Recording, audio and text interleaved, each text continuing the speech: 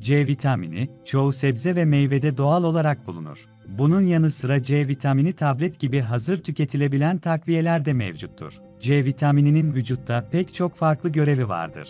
Bu nedenle eksikliği sadece tek bir bölgeyi etkilemez, çeşitli doku ve organlar üzerinde farklı etkiler gösterir. C vitaminin vücuttaki en temel görevlerinden biri kolajen sentezine katılmaktır.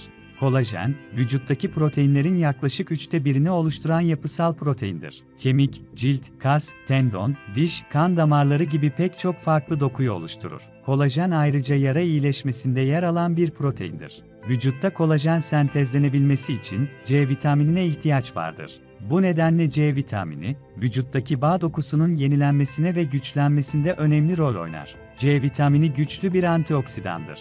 Antioksidan maddeler, vücutta çeşitli reaksiyonlar sonucu oluşan serbest oksijen radikallerinin ortadan kaldırılmasını sağlar. Serbest oksijen radikalleri, içerisinde bulunduğu hücrede oksidatif stres oluşturur ve hücrenin hasar görmesine neden olur. Oksidatif stres, kanser, kalp damar hastalıkları gibi çeşitli rahatsızlıkların gelişiminde rol oynayan bir durumdur. C vitamini, antioksidan etkisiyle hücrelerdeki oksidatif stresi azaltır. Bunun yanı sıra E vitamini gibi diğer antioksidan maddelerin yenilenmesine yardımcı olmakta C vitamini faydaları arasındadır. C vitamininin en çok bilinen faydalarından biri, bağışıklık sistemi üzerindeki güçlendirici etkisidir. Vitamin C, bağışıklık sisteminin temel elemanları olan beyaz kan hücrelerinin üretimine katkıda bulunur. Vücudun zararlı mikroorganizmalarla savaşındaki en önemli hücreler olan lenfosit ve fagositlerin sayısının artması, enfeksiyon hastalıkları açısından koruyucudur. Ayrıca C vitaminin antioksidan etkisi, beyaz kan hücrelerinin fonksiyonunu yerine getirmesi için oldukça kritik öneme sahiptir. Dış ortamdan vücuda girecek olan patojenlere karşı bir savunma hattı oluşturan deri organı da C vitamini etkisiyle daha güçlü hale gelir. C vitamini, demir mineralinin daha kolay emilmesini sağlar. Demir, kırmızı kan hücrelerinin yapısında yer alır ve vücudun tüm bölgelerine oksijen taşınmasından sorumludur.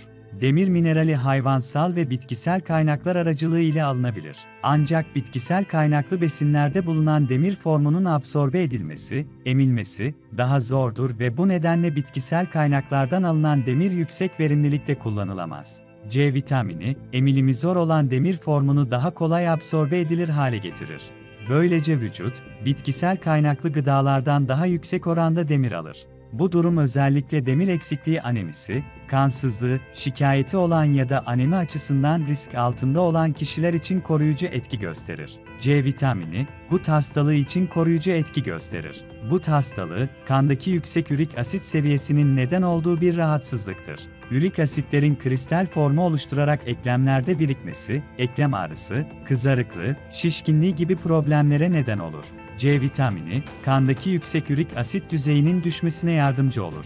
Bu sayede hem gut hastalığından korur hem de hasta kişilerde gut ataklarının azalmasını sağlar. C vitamini, kan basıncının düşürülmesine yardımcı olabilir. Yüksek tansiyon, kalp damar hastalıkları açısından risk oluşturur. Son dönemlerde yapılan çalışmalar, C vitaminin hem küçük, diastolik, hem de büyük, sistolik, tansiyonu azaltıcı etkisi olduğunu göstermiştir. Ancak C vitamini, yüksek tansiyon tedavisinde tek başına kullanılmamalıdır. Destek olmayı lütfen unutmayınız, diğer videolarda görüşmek üzere.